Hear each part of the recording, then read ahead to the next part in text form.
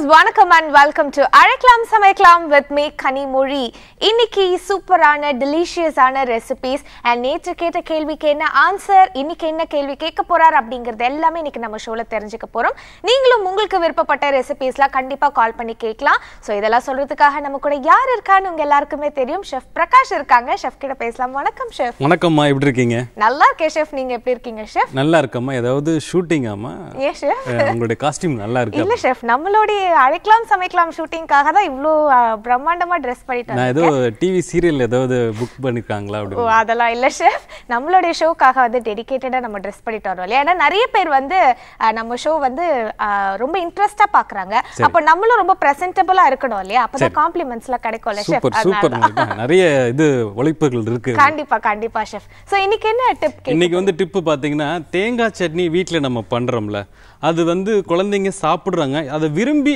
சாப்பிட வைக்கிறது எப்படி அப்படின்னா அதாவது அது ஒரு பார்க்குறதுக்கு அழகாக இருக்கணும் அப்படின்னா அதை எப்படி என்ன சேர்த்தா அழகா வரும் அப்படின்னு பார்த்தீங்கன்னா கொஞ்சமாக கருவேப்பிலை. ஒரு கொத்தில் அதில் பாதி கருவேப்பிலை எடுத்துங்க. கொஞ்சமாக கொத்தமல்லி. இப்போ ஒரு ரெண்டு கொத்தமல்லி அந்த கொத்தமல்லி கட்டில் இருக்கும்ல அதுலேருந்து ரெண்டு கொத்தமல்லியும் பாதி கொத்து கருவேப்பிலையும் சேர்த்து தேங்காய் கூட அந்த சட்னி கூட அரைச்சி பாருங்களேன். அந்த அந்த பச்சை கலர் வந்து இல்லை குழந்தைங்கள் அப்படியே விரும்பி இழுக்கும். கண்டிப்பாக ட்ரை பண்ணி பாருங்க. ரொ- அதாவது அது வாசனையும் நல்லாவும் இருக்கும்.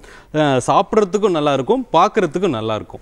ஓகே எப்பவுமே ஒரு உணவு வந்து பாக்குறதுக்கும் வாசனையும் வந்து அட்ராக்டிவா இருந்தாதான் அதை சாப்பிடணும்னே தோணும். ஸோ இதுல மூணு விஷயமும் அடங்கி இருக்கும் அப்படின்னு சொல்லியிருக்காரு. கண்டிப்பா ட்ரை பண்ணி பாருங்க. இப்போ நம்ம ஷோட ஃபர்ஸ்ட் காலர் லைன்ல இருக்காங்க. பேசலாம். வணக்கம். வணக்கம்க்கா. வணக்கம்மா யார் பேசுறீங்க? நான் வந்து கிறிஸ்டினா பிரின்ஸ் பேசுறேன்க்கா. கிறிஸ்டினா பிரின்சி நீங்க நேத்து கால் பண்ணீங்க கரெக்டா ஆ கரெக்ட்க்கா ஆ எப்படி இருக்கீங்க கிறிஸ்டினா? ஆ நல்லா இருக்கேன்க்கா. எப்படி இருக்கீங்கக்கா? என்னங்கம்மா?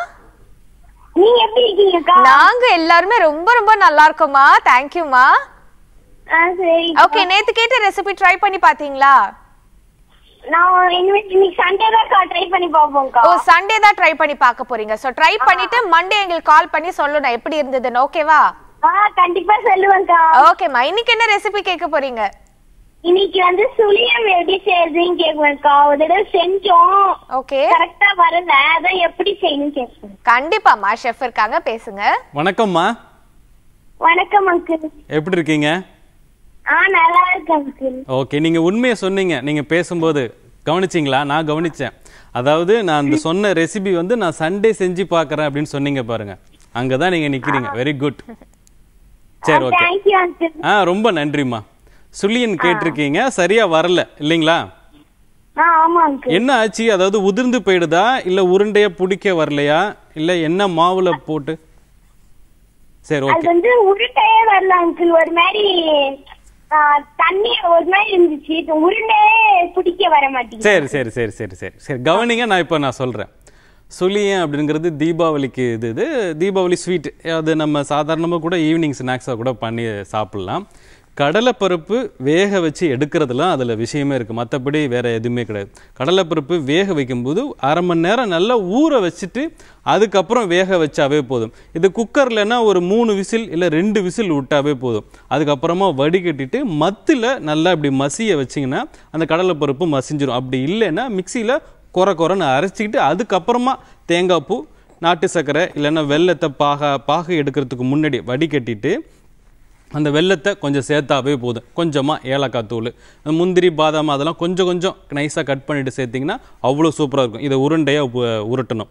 கடலைப்பருப்பை வேக வைக்கிறதுலாம் அதில் விஷயமே இருக்குது அந்த கடலைப்பருப்பு தண்ணியே இல்ல இல்லாமல் வடிகட்டிடுங்க. வேக வச்சதுக்கு அப்புறமா ட்ரை பண்ணி பாருங்கள் ரொம்ப சூப்பராகவே வரும். கண்டிப்பாக ட்ரை பண்ணி பாருங்கள் கண்டிப்பா ட்ரை பண்ணி பாருங்க. அண்ட் குட்டி பசங்க எவ்வளவு தெளிவா பேசுறாங்கல்ல எனக்கு அவ்வளோ ஆச்சரியமா ஆமா இருந்தது. எனக்குலாம் அந்த ஏஜ்ல வந்து சமையல்ல இந்த மாதிரிலாம் ஏதோ நடக்கும் ப்ராப்ளம் வரும்னு எனக்கு தெரியாது.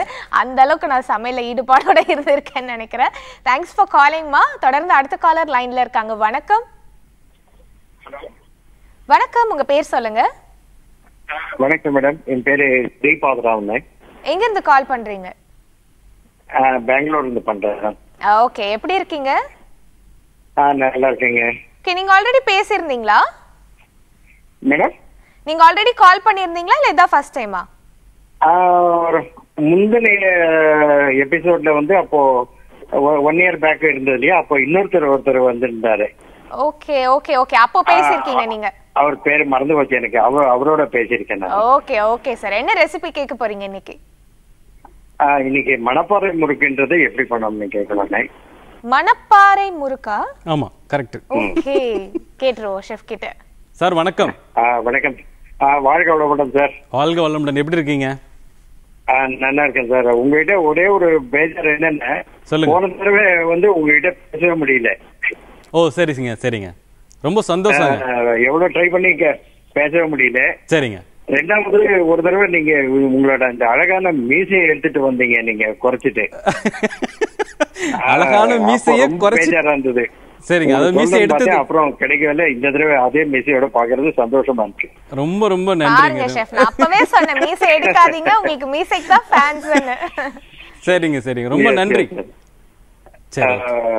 கவனிங்க நான் சொல்றேன். இந்த மணப்பாறை முறுக்கு எப்படி பண்றதுன்னு கண்டிப்பா நான் சொல்றேன். ஆ ரொம்ப நன்றிங்க. மணப்பாறை முறுக்கு கேட்டிருக்காங்க. இங்கே ஒரு விஷயத்தை நம்ம இதில் பதிவு பண்ணிக்கலாம் அப்படின்னு இருக்கிறேன் அதாவது மணப்பாறை முறுக்கு அப்படின்னா சொல்கிறாங்களே இப்போ ஒவ்வொரு ஊருக்கும் ஒவ்வொரு ஸ்பெஷல் இருக்கும்ல. அந்த ஊரோட தண்ணியோட இதுதானே ஒழிஞ்சு மற்றபடி வேறு எதுவும் அப்படிலாம் வேறு எக்ஸ்ட்ராலாம் எதுவும் பொருள்லாம் அவங்க சேர்க்கறது அந்த ஊர் தண்ணி சேர்த்து அந்த மாவில் முறுக்கு மாவு பண்ணுறதுனால அது அந்த பேர் வந்தது ஒழிஞ்சு மணப்பாறை முறுக்குன்னு தான். மற்றபடி அதில் எக்ஸ்ட்ராலாம் எதுவுமே வந்து சேர்க்கல. அதாவது உளுந்தை வந்து கொஞ்சம் சூடு படுத்திக்கிட்டு அதுக்கப்புறமா நீங்கள் அதை அந்த பவுடராக அரைச்சிட்டு அது கூட அரிசி. டால்டான்னு சொல்லுவாங்களே அது கொஞ்சம் அதாவது மெல்ட் பண்ணிக்க சொல்கிறேன் அதாவது உருக்கிக்க சொல்கிறேன் உருக்கினதுக்கு அப்புறமா இதில் சேர்த்து ஃபஸ்ட்டு நல்ல மாவை நல்லாவே மிக்ஸ் பண்ணணும். அதுக்கப்புறமா தண்ணி ஊற்றி நீங்கள் மிக்ஸ் பண்ணி முறுக்கு போட்டு பாருங்களேன். அவ்வளோ சூப்பராக இருக்கும். மணப்பாறை முறுக்கு கண்டிப்பாக ட்ரை பண்ணி பாருங்கள் நம்ம ஷோட அடுத்த காலர் லைன்ல இருக்காங்க. வணக்கம். வணக்கம். ஹலோ வணக்கம். ஹலோ. ரெண்டு பேர் பேசுறீங்க? எனக்கே ஒரு கன்ஃபியூஷனா இருக்கே. வணக்கம் உங்க பேர் சொல்லுங்க. முகமது அலி மேடம். எங்க இருந்து கால் பண்றீங்க? நான் திருவற்றி திருவற்றியூர்ல இருந்து கால் பண்றீங்க. இன்னைக்கு என்ன சாப்பிட்டீங்க? உங்க வீட்ல என்ன சமையல்? எங்க வீட்ல சப்பாத்தி எக்கு குழம்பு. சப்பாத்தி எக்கு குழம்பு. ஷெஃப் வந்து பக்கத்துல இருந்து அடடா அப்படின்னு சொல்லிக்கிட்டு இருக்காரு. ஓகே என்ன ரெசிபி கேட்க போறீங்க இன்னைக்கு? மேடம் இந்த மட்டன் கைமால கீரை அரைக்கீரை போட்டு மிட்டா சால்னா மாதிரி வைப்பாங்க. மட்டன் கீமாவை என்ன வைப்பாங்க? அரைக்கீரை போட்டு முட்டை ஆப்பம். அரைக்கீரை அரைக்கீரை போட்டு சால்னா மாதிரி. ஓ அரைக்கீரை போட்டு செய்வாங்களா சூப்பரா இருக்குமா ஓகே ஓகே. நமக்கு கீரை பிடிக்கலனா இந்த மாதிரி ட்ரை பண்ணலாம்னு நினைக்கிறேன். ஆமா ஆமா. அது கூட நம்ம டிப்ஸா அது சொல்லலாம். சொல்றீங்களா மேம் வணக்கம் கண்டிப்பா பா கண்டிப்பா சொல்லுங்க. வணக்கம். வணக்கம் எப்படி இருக்கீங்க? ஆ வணக்கம் சார். நல்லா இருக்கீங்களா சார்? ஆ நல்லா இருக்கேன் நல்லா இருக்கேன். நீங்க எப்படி இருக்கீங்க? வீட்ல எல்லாரும் எப்படி நல்லா இருக்காங்க இருக்கேன் சார். நல்லா இருக்கேன் சார். ஆ, இன்னொரு தடவை அந்த கேள்வி சொல்லிருங்க. கீரை? கீரை அந்த அரைக்கீரை போட்டு மட்டன் கீமால மிட்டா சால்னா வைப்பாங்க. முட்டை சால்னா அது எப்படி பண்ணணும்னு கேக்குறீங்க இல்லீங்களா? சார் டிவி பார்க்காம பேசுங்க. டிவி வால்யூம் வந்து ஜாஸ்தியா இருக்கு. கவனிங்க நான் சொல்லிடுறேன். அதாவது மட்டன்ல வந்து அரைக்கீரை இருக்குல்ல அதை சேர்த்து சால்னா அதாவது குழம்பு அது எப்படி பண்ணணும் அப்படின்னு கேட்குறாங்க ரொம்ப ஈஸியாக பண்ணலாம். மட்டனை வந்து நல்லா வேக வச்சிருங்க. வேக வைக்கும்போது இஞ்சி பூண்டு விழுது கொஞ்சமாக மிளகாத்தூள் கொஞ்சமாக கரம் மசாலா தூள் இல்லைன்னா பட்டை கிராம்பு ஏலக்காய் இருக்குல்ல அது ஒரு ஒரு பீஸ் போட்டுட்டு ஒரு ஏழு விசில் இல்லை ஒரு எட்டு விசில் நல்லா வேக வச்சுட்டு அந்த தண்ணியோடு இருக்கட்டும். இந்த சைடில் குழம்பு ரெடி பண்ணிக்கிங்க. எப்படின்னா ஒரு பாத்திரத்தில் கடலெண்ணெய் போட்டுங்க. கடலெண்ணெய் போட்டு சோம்பு தாளிச்சதுக்கு அப்புறமா வெங்காயம். வெங்காயமும் தக்காளியும் ஒரு ஒரு போல் அளவு சரிசமமாக இருந்தாவே போதும். வெங்காயம் நல்லா வதங்குது அதுக்கப்புறமா இஞ்சி பூண்டு விழுது. அதுக்கப்புறமா தக்காளி. தக்காளியில் நல்லா கரைஞ்சதுக்கு அப்புறமா ஒரு ஸ்பூன் மிளகாத்தூள் அரை ஸ்பூன் தனியாத்தூள் கொஞ்சமாக மஞ்சத்தூள். அரைக்கீரை இருக்குல்ல அதை நல்லா நைஸாக கட் பண்ணிவிட்டு தண்ணியில் நல்லா ரெண்டு மூணு வாட்டி நல்லா கழுவிட்டு மேலாம்பில் எடுத்தீங்கன்னா மண்ணெல்லாம் வராது. அந்த மாதிரி எடுத்துட்டு இதில் போட்டு இதிலே போட்டு வதக்கிடுங்க வதக்கிட்டு கல் உப்பு ஒரு ஸ்பூன் மிளகாத்தூள் அரை ஸ்பூன் தனியாத்தூள். இது இதையும் அது கூட போட்டு வதக்கிட்டிங்கன்னா இது ஒரு இது மசாலா மாதிரி வந்துடும் கீரையும் பத்து நிமிஷத்தில் வெந்துடும் இதை வந்து கீரை வந்து ஓப்பன் பண்ணி அதாவது திறந்துட்டு நீங்கள் அதை சமைச்சாவே போதும். இங்கே தான் மட்டன் ரெடியாக வேக வச்சுருக்கோம்ல அதையும் இது கூட போட்டு ஒரு கொதி வந்தோன்னே ஸ்லோ பண்ணிடுங்க. அதுலேருந்து பத்து நிமிஷம் வெந்தாவே போதும். இறக்க போகும்போது கொஞ்சமாக புதினா இலை சேர்த்துக்கிட்டிங்கன்னா அவ்வளோ சூப்பராக இருக்கும். கண்டிப்பாக ட்ரை பண்ணி பாருங்கள் okay thanks for calling and இந்த ரெசிபி கேட்டதுக்கு ரொம்ப ரொம்ப நன்றி. ஏன்னா புது விதமான ஒரு ரெசிபி ரெசிபியா இருந்தது. மட்டன் கீமால கீரை போடுவாங்க அப்படிங்கிறது எனக்கு இதான் புதுசா இருந்தது. கீரை பிடிக்காதவங்க கூட இந்த மாதிரி சாப்பிடலாம்னு நினைக்கிறேன். இன்கேஸ் நான்வெஜ் பிரியர்களா இருந்தீங்கன்னா தேங்க்ஸ் ஃபார் காலிங் அடுத்த காலர் லைன்ல இருக்காங்க. வணக்கம். ஹலோ வணக்கம். உங்க பேர் சொல்லுங்க. என் பேர் பூமிநாதன். பூமிநாதன் சார் எங்க இருந்து கால் பண்றீங்க? கொரட்டூர்ல இருந்து பண்றேன். ஓகே எப்படி இருக்கீங்க சார் ரொம்ப நல்லா இருக்கேன். என்னுடைய ஒய்ஃபுக்காக இதை கேட்கறேன் நானு. கண்டிப்பா கேளுங்க சார் நிறைய கேள்வி ஒய்ஃப் சூரியகலாக்காக கேட்கறேன் ஓ வைஃப் சூரிய கலாக்காக கேக்குறீங்க. என்ன ரெசிபி கேட்டிருக்காங்க உங்களுடைய வைஃப் அதாவது காளான் வந்து ட்ரையா. பெப்பர் ஃப்ரை அதாவது காளான் பெப்பர் சுக்கா கேட்டிருக்கீங்க. இல்ல இல்ல காளான் வந்து பிளைனாவே வந்து பெப்பர் ஃப்ரை ஓ பெப்பர் ஃப்ரை பண்ணணும். ஓகே ஓகே சார் ஷெஃப் இருக்காங்க பேசுங்க. வணக்கம் சார் ஆமா ஆமா. ஐயா வணக்கம். சார் டிவி பார்க்காம பேசுங்க. டிவில நாங்க பேசுறது உங்களுக்கு லேட்டா தான் கேட்கும். ஆமாம் தேங்க்யூ ஓகே. சரி நம்ம சொல்லிடலாம்.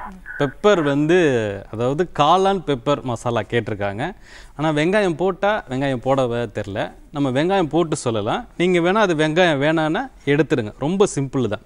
இந்த மசாலா மட்டும் நீங்கள் ரெடி பண்ணிக்கிட்டா போதும்.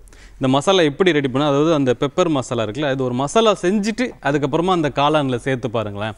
ரொம்ப சூப்பராக இருக்கும். அந்த மசாலா என்னென்னா ஒரு குழிக்கரண்டி அளவுக்கு நான் ஒரு டம்ளர்னு சொல்ல வந்தேன். ஒரு குழிக்கரண்டி அளவுக்கு மிளகு எடுத்துங்க.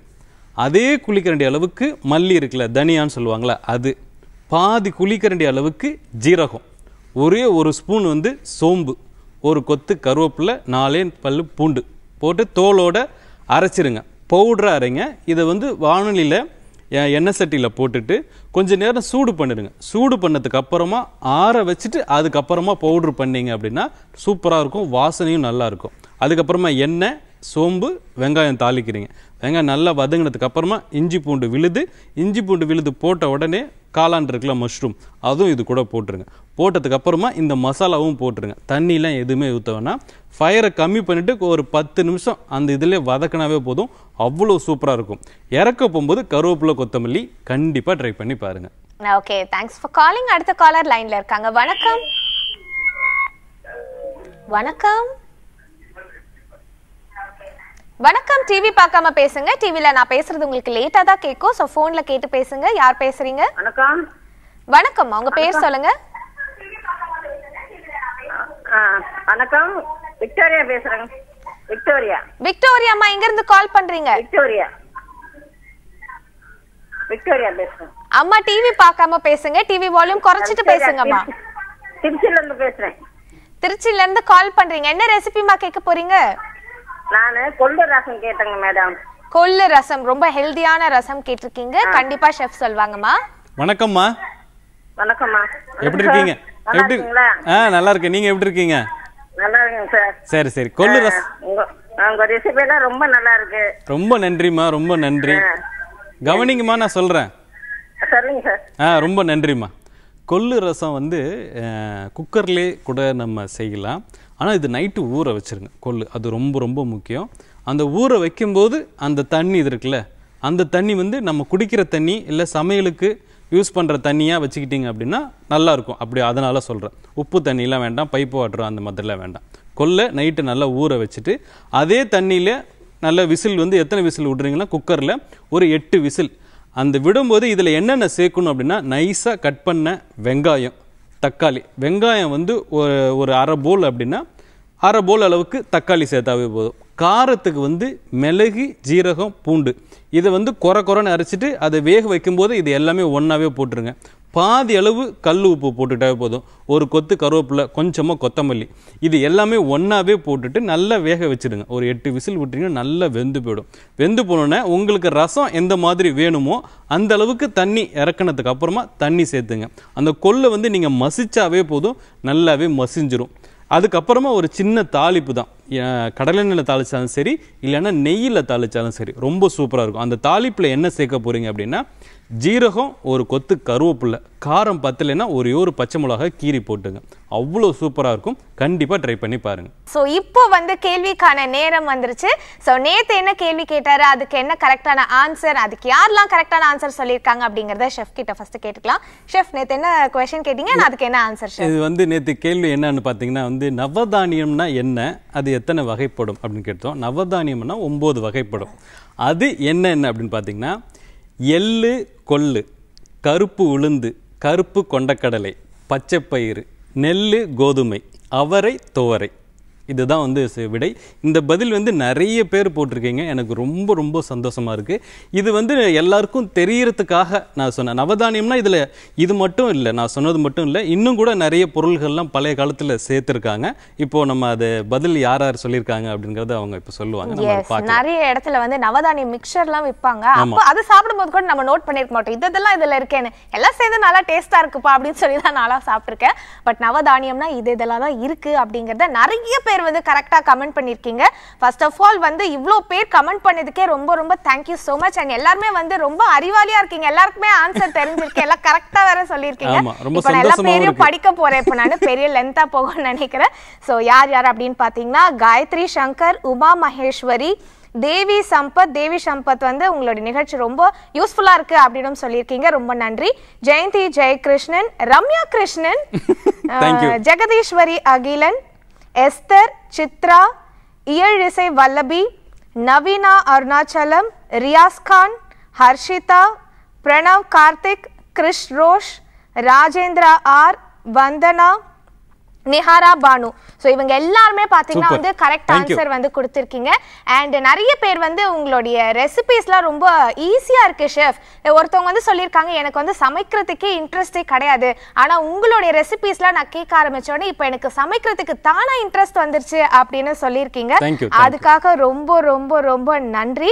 ஸோ அவங்க யார் அப்படின்னு பார்த்தீங்கன்னா ஹர்ஷிதா தான் சொல்லியிருக்காங்க. ரொம்ப தேங்க்ஸ் ஹர்ஷிதா. அண்ட் அவங்களுடைய ஆன்சர் வந்து அவங்களுடைய அம்மா தான் அவங்களுக்கு சொல்லியிருக்காங்க தனலக்ஷ்மி. ஸோ அவங்க பேரே நான் சொல்லித்தேன் ஹர்ஷிதா?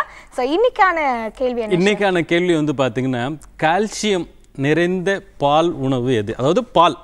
உணவு வேண்டாம். அதுவும் உணவு தான். அது எல்லாருக்குமே தெரியும் பசுமாட்டு பால். அதில் கால்சியம் இருக்கு. அந்த பசுமாட்டு பாலை தவிர வேற எந்த பாலில் கால்சியம் அதிகமாக இருக்கு?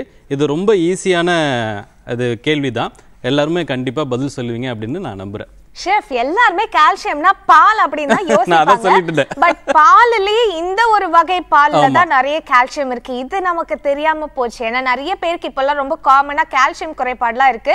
சோ அவங்களுக்கெல்லாம் இது கண்டிப்பா நாளைக்கு இந்த ஆன்சர் ரொம்ப யூஸ்ஃபுல்லா இருக்கும்னு கண்டிப்பா, நினைக்கிறேன். சோ உங்களுக்கு ஆன்சர் தெரிஞ்சாலும் வழக்கம் போல நம்மளுடைய ஷோ இன்னைக்கு யூடியூப்ல அப்லோட் ஆன உடனே நீங்க கமெண்ட்ஸ்ல போய் உங்களோட கரெக்டான ஆன்சரை நீங்க பதிவு பண்ணிடலாம். நான் யார் யாரெல்லாம் சொல்லியிருக்கீங்க அப்படிங்கறத நாளைக்கு நான் வந்து ரீட் அவுட் பண்ணிடுவேன். அண்ட் ரொம்ப ரொம்ப நன்றி. உங்களோட டைம் எடுத்து எங்களுடைய ஷோக்காக நீங்க கமெண்ட் பண்றதுக்கு ரொம்ப ரொம்ப தேங்க்யூ so மச் இன்னைக்கு கால் பண்ண எல்லா வியூவர்ஸ்க்குமே ரொம்ப ரொம்ப நன்றி. அண்ட் சூப்பரான ரெசிபிஸ் சொன்ன ஷெஃபுக்கும். ரொம்ப ரொம்ப நன்றி. So, இதே மாதிரி நாளைக்கு செமையான இன்ட்ரெஸ்டிங்கான விஷயங்களோட நாங்கள் வந்து சந்திக்கிறோம். ஆண்டில் this is Kanimozhi signing off